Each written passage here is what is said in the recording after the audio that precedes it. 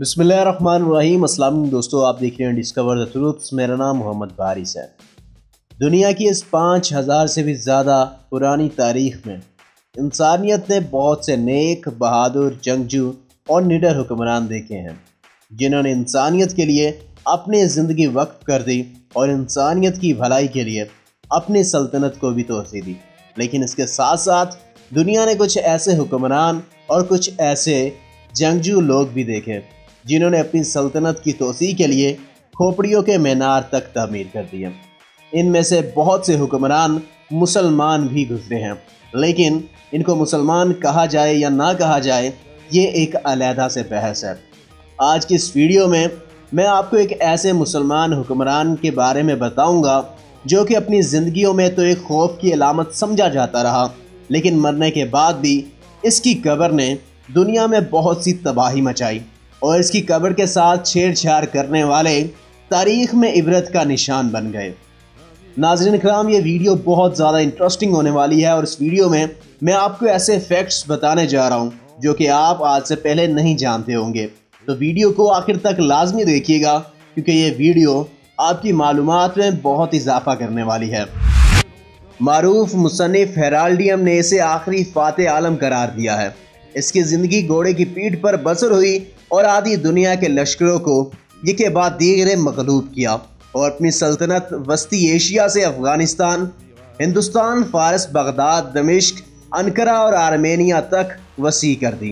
खरासान के शहर सब्जवार पर जब फतह पाई तो डेढ़ लाख खोपड़ियों का मीनार बनवाया, ताकि दुनिया जान ले कि इसके आगे सर उठाने वालों का क्या अंजाम होता है।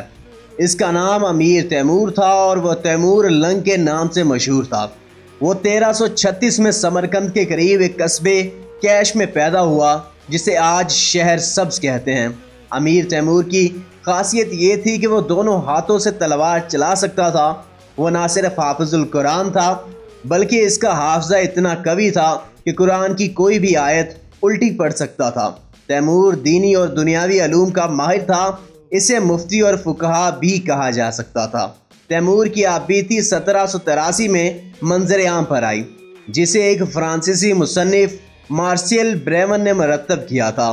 तैमूर के हाथ से लिखी हुई याददाश्तों का असली नुस्खा यमन के बादशाह जाफ़र पाशा के पास महफूज था, जो हिंदुस्तान से होता हुआ बरतानिया पहुँच गया। तैमूर की सल्तनत एक सुपर पावर का दर्जा रखती थी और तैमूर खुद अपनी सुपर पावर को चलाने वाला वाहिद हुक्मरान था। अमीर तैमूर की ख़ास बात यह थी कि वह जिस शहर पर हमला करता, वहाँ के शायरों, अदीबों और मुफक्रों को छोड़कर बाकी तमाम लोगों को मौत के घाट उतार दिया करता था। तैमूर को यह नसीहत कि उलमा कराम सनतकारों, शायरों, अदीबों और मुफक्रों को नहीं मारना और इनका इज़्ज़त और एहतराम करना है किसी बुज़ुर्ग ने दी थी। इस नसीहत को अमीर तैमूर ने तमाम ज़िंदगी अपने पल्ले बाँध लिया और वह पूरी दुनिया फतह करता गया। अमीर तैमूर ने अपनी सल्तनत को वसत देने की खातिर दुनिया की आबादी का पांचवा हिस्सा मौत के घाट उतार दिया था और इसको ये सब कुछ करते हुए तरस भी नहीं आता था। अमीर तैमूर के अल्फाज हैं कि जब किसी का सर कलम होता है और इसकी गर्दन से खून उबल कर आता है तो ये मेरे लिए सबसे ज़्यादा खुशी का और मुसरत का मौका होता है। एक रवायत में आता है कि तैमूर ने जब दिल्ली का मुहासरा कर रखा था तो एक रोज़ हिंदुओं का रूहानी पेशवा किले की दीवार पर चढ़कर तैमूर से मुखातिब हुआ। ए अमीर, तू इस वक्त तिरसठ बरस का हो चुका है। अगर तू दिल्ली फतह करने का इरादा तर्क करके यहाँ से चला जाए तो चौरानवे बरस की उम्र पाएगा। लेकिन अगर तू इस शहर पर दाखिल होने पर बजिद रहा तो तेरी उम्र तकरीबन सत्तर बरस की होगी। तैमूर ने इसकी बात सुनकर भी अनसुनी कर दी और दिल्ली का मुहासरा जारी रखा और बलाखिर इसको फतह कर लिया। हैरत की बात है कि तैमूर ने वाकई में सिर्फ़ सत्तर वर्ष की उम्र पाई और 14 फरवरी 1905 को इस वक्त इंतकाल कर गया जब वो चीन फतह करने जा रहा था। नाजरीन कराम अमीर तैमूर तो मर गया लेकिन मरने के बाद भी वो दुनिया पर कहर ढाता रहा और दुनिया की तबाही इसकी कब्र के साथ लिख दी गई।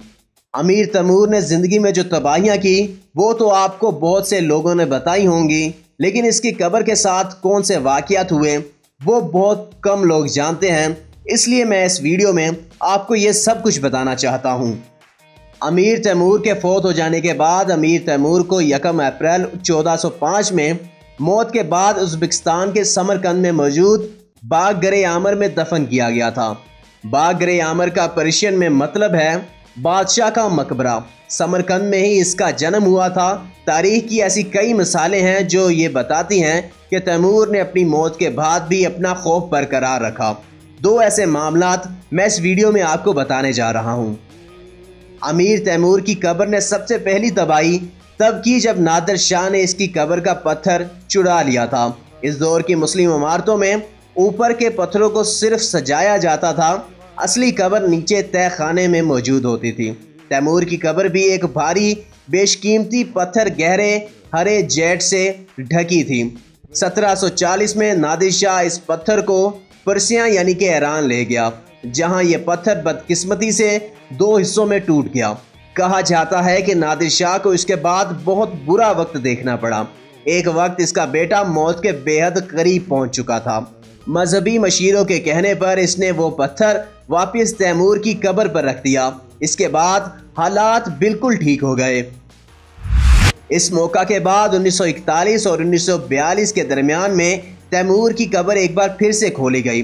1941 में रूस के जोसेफ स्टालिन ने तैमूर की कब्र को खोलने का हुक्म दिया। सोवियत के माहिर इल्म बशरियात मखाइल गिर समूद ने 1941 में कब्र को खोल दिया था। और बताया था कि तैमूर की लंबाई तकरीबन छः फिट थी और वो दाएँ पाँव से माजूर था। कहा जाता है कि तैमूर की कब्र पर गैर समूद को दो वार्निंग लिखे मिले थे, जो इस तरह थे। नंबर वन पर था, जब मैं अपनी मौत के बाद दोबारा उठ खड़ा होऊँगा तो पूरी दुनिया काँप उठेगी। नंबर दो पर मौजूद था, जो भी मेरी कब्र को खोलेगा, वो दुश्मन से बुरी तरह हारेगा। वो दुश्मन मुझसे भी ज़्यादा खौफनाक होगा। ये सब कुछ देखने के बाद बुज़ुर्ग लोग और एक मौलाना ने मिखाइल गिर समूद और ताश मोहम्मद कैरी नया वजूद से कहा कि मुसीबत आने वाली है, लेकिन इनकी बात को पूरी तरह दरकनार कर दिया गया। इन लोगों ने खबरदार कर दिया कि तीन दिन के अंदर मुसीबत आएगी और आफत इस ज़मीन पर गिरेगी, जिसने ये खोल दिया है। कब्र खोदे जाने के अगले ही दिन, यानी कि 22 जून 1941 को हिटलर ने सोवियत यूनियन पर हमला कर दिया। ये हमला जंग के बगैर किसी रस्मी ऐलान के हुआ था। हिटलर ने इसे ऑपरेशन बार भरोसा का नाम दिया था। जर्मनी के कई हमलों के बाद स्टैलन ने अमीर तैमूर की बाकियात को फिर से पूरे इस्लामी रस्म रवाज के साथ इसे कब्र में दफन करने का हुक्म दे दिया। ये हुआ 20 दिसंबर 1942 को।